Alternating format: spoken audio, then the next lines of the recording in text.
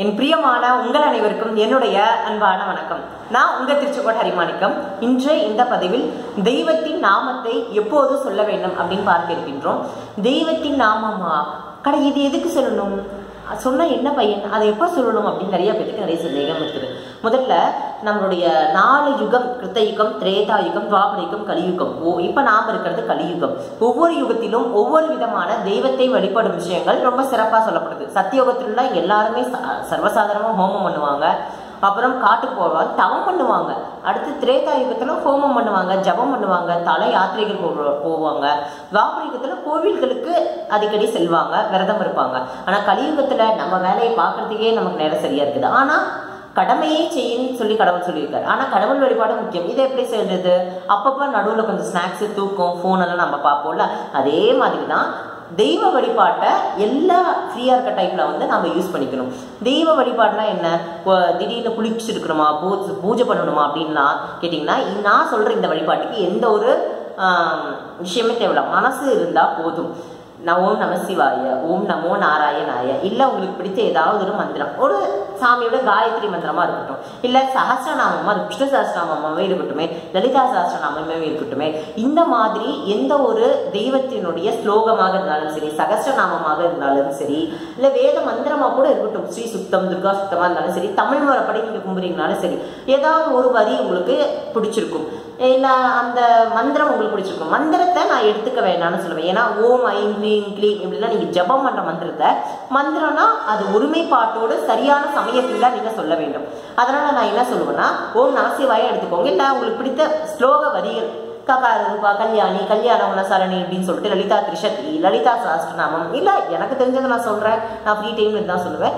மற்ற ஒவ்வொருத்தவங்க ஒவ்வொரு சாமியை ரொம்ப பிடிச்சதா சொல்லுவாங்களா அந்த தெய்வத்தினுடைய காயத்ரி மந்திரம் தனி மந்திரம் இல்லை அந்த பே தெய்வத்தினுடைய பெயர்கள் முருகா முருகா முருகா இப்படி ஏதாவது ஒன்று நீங்கள் ஃப்ரீ டைமில் எப்போ வேணாலும் சொல்லலாம். அம்பாலை எப்போ கும்பிடணும்னு அபிராமி பட்டர் சொல்கிறார் பாருங்க. நின்றும் இருந்தும் கிடந்தும் நடந்தும் எல்லாமே சொல்லிட்டாரே. அப்ப எல்லா நேரத்திலுமே கும்பிடலாமா? தாராளமா மனசார கும்பிடலாம். இந்த மனசு அங்கங்க அலைப்பாயுது. அது எல்லாமே தெய்வத்தின் கிட்ட கொண்டு போறதுக்கு நமக்கு என்ன கஷ்டம்? தெய்வத்துக்கிட்ட நேரா கொண்டு போங்க. நம்ம நேரம் ஏன்னா கடைசி காலத்துல சொல்லிக்கலாம் கடைசி காலத்துல சொல்லிக்கலாம்னா அஜாமனுக்கு அதை எல்லாத்துக்கும் தெரியும். பாவம் செய்வான். கடைசியில் கடைசியில நான் பெருமாளை கும்பிட்டுக்கிறேன்னு நினைப்பான். ஆனா அவன் கடைசி நேரத்தில் அவனுக்கு பெருமாளுடைய நாமம் வராது. தப்பி தவறி அவன் முன்னாடிலாம் பெருமாளை பூஜை பண்ணிப்பான். வயசில். அது அதனால அதனுடைய பலன் எப்படி இருக்கும்? அவனுடைய பையனுக்கு தப்பி தவறி நாராயணா அப்படின்னு பேரை வச்சிருவான் கடைசி நேரத்தில் பையன் பாசத்துல தான் பெருமாள் மேலே பா பக்தி பையன் பாசத்தில் நாராயணா நாராயணான்னு கத்துறான் பையன் ஓடி வரான். ஓடி வந்ததுக்கு அப்புறம் இவனுடைய உயிர் போயிடுது. கடைசியில பார்த்தா யமலோகத்துக்கு படுபாதகம் போக வேண்டியவன் நாராயணான்னு சொன்னதுனால வைகுண்டம் போயிட்டான். நானும் பாவெல்லாம் செஞ்சுக்கிறேன். கடைசி காலத்தில் நேராக நாராயணான்னு ஏதோ ஒரு பேரை சொல்லிட்டு வைகுண்டம் போனோம்னா அது நடக்காது. இது ஒரு உதாரணமா சொன்னாங்க. நாம ஜபத்திற்குரிய மகிமை. இப்ப தலைவலி இருக்குது டோலோ போடுங்க அப்படின்னா சரியாயிடும். அதுக்காக மண்டையில வேற எப்பவுமே தலைவலி இருந்துகிட்டே இருக்குது. தலைவலி கண்டினியூஸாக எடுத்துகிட்டே இருக்கு. அந்த டோலோ மாத்திரை நான் திருப்பி திருப்பி போட்டுகிட்டே இருக்கேன். சரியாகும்னா? அடிப்படை காரணத்தை நீங்கள் தேடணும். அந்த காரணத்தை இப்போ ஸ்ட்ரெஸ்ஸால நீங்கள் தலைவலி வருதா தூக்கம் கெட்டதுனால தலைவலி வருதா டிவி ரொம்ப பார்த்ததுனால தலைவலி வருதுன்னா அதை நிறுத்தணும். அதை விட்டுட்டு மாத்திரை போட்டால் தலைவலி சரியாக போயிடும். மாத்திரையே போட்டுட்டு இருக்க முடியுமா? அதே மாதிரி தான் நம்ம அது கடைசி காலத்தில் அது சொல்லிக்கலாம்னு இருக்கிற காலத்தை வேஸ்ட் பண்ணிட்டு இருக்கிறோம். எவ்வளவோ டைம் வேஸ்ட் பண்ணுறோம் ஃபோன் பார்க்கும்போது நான் சொல்கிறது இல்லத்தரசிகளா? ஃபோன் பார்க்கும்போது இல்லை காய்கறி வெட்டும் போது நான் காய்கறி வெட்டும் போது துணி மடிக்கும் போது வீடு குட்டும் போது இப்படிலாம் நிறைய டைம்ல ஏதாவது ஒன்று பாடலாமே கந்தஸ்ரீ கவசத்தை நடுவில் எடுத்து பாடலாம் இல்லை பாட்டை நம்ம ப்ளூடூத்து யூடியூப் நல்லா சவுண்டாக வச்சு கேட்குற மாதிரி ஹெட்செட்டு என்னென்னமோ வந்துச்சு அதெல்லாம் வச்சு கேட்டுக்கலாம்ல. சொல்லதான் முடியாது. இல்லை அதை திருப்பி திருப்பி கேட்டால் மனப்பாடங்கள் ஆகும். வீட்டில் நல்ல எதிரொலி அந்த தெய்வத்தினுடைய குரல் தெய்வத்தினுடைய பாராயணம் செய்கிற அந்த மந்திரங்கள் இருந்து எதிரொலிச்சாலே நல்லது நம்மளை சுத்தி. அவன் நல்லாவே இருக்க மாட்டாள் கர்ப்பத்தை எப்படி கலைக்கிறது? அவள் எப்படியாவது ஓடி போயிட்டா பாரு. இப்படிலாம் தீய வார்த்தைகள்லாம் நம்ம சீரியல் சீரியல் மூலியமா வீட்டில் எல்லாருமே இல்லை சில பேர் தெரிஞ்சு தெரியாமல் தெரியாம வெளிப்படுத்திட்டு இருக்கோம். அதுக்கு பதிலாக இந்த மாதிரி நல்ல நல்ல விஷயங்களை சத்தமா ஒழிக்க விட்டா வீட்டில் பாசிட்டிவ் வைப்ரேஷன் இருக்கும். இதுக்கு காசு கொடுத்து எங்கெங்கேயோ போய் இது ஒரு கிளாஸ்ன்னு போவாங்க. ஃப்ரீயாவே நமக்கு கிடைச்சது மந்திரங்கள். அதனால அதனுடைய அருமை நமக்கு தெரியல. மந்திரத்தினுடைய பெருமையை நம்ம தெரிஞ்சுக்கணும். இப்போ மந்திரத்தை எப்போ வேணாலும் சொல்லலாம் சொல்லிட்டீங்க. பீரியட்ஸ் டைம்ல பெண்கள் சொல்லலாமா. மனசார சொல்லலாம். எந்த ஒரு தவறும் இல்லை. உங்கள் மனசு எந்த ஒரு பாவம் செஞ்சதும் இல்லை. அதை எதை போட்டு சர்ஃபெக்சல் போட்டு துணியை போட்டு தண்ணி ஊற்றி எதுவும் கழுவ முடியாது. பக்தியால் அன்பால் மட்டும்தான் வந்து அதை மாற்ற முடியும்.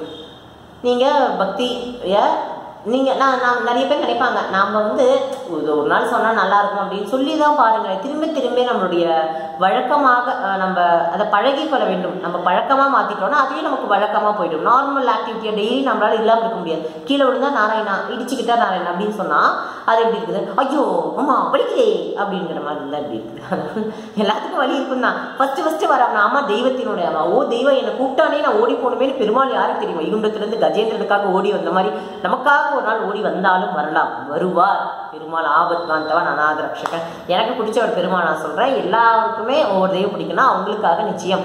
குழந்தை குட்ட அம்மா ஓடி வரது இல்லையா பசின்னு சொன்னால் அதே மாதிரி தாங்க நமக்காக தெய்வங்கள் ஓடி வர காத்துட்டே இருக்காங்க. அதனால நம்மளால முடிஞ்ச ஒரு எளிய ஒரு வழிபாடு முறை அப்படிங்கிறது தான் இந்த நாம சங்கீர்த்தனம். நம்ம கூடி கூடி எல்லாருமே சேர்ந்து ஒரு பஜனையாக கூட்டமாக சொல்லணுங்கிற அவசியம் இல்லை.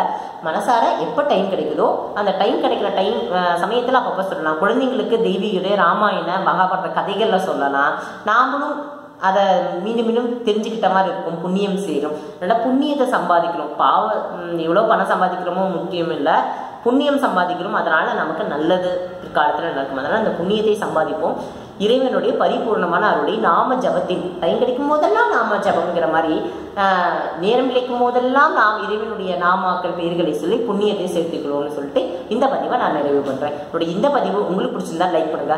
ரொம்ப பிடிச்சிருந்தா உங்கள் நண்பர்களுக்கு ஷேர் பண்ணுங்க. இதே போல ஆன்மீக தகவல்களும் கதைகளும் உங்களுக்கு வேணும்னா நம்ம சேனல் சப்ஸ்கிரைப் பண்ணிக்கோங்க. பக்கத்தில் உடனே ஒரு கோவில் மணி வரும் அதையும் அடிச்சுங்க அப்பதான் எப்போ ஒரு ஆன்மீக தகவல் நான் பதிவு செய்தாலும் உடனே உங்களே கவனத்திற்கு வந்து சேரும். மீண்டும் சந்திக்கலாம். நன்றி. வணக்கம்.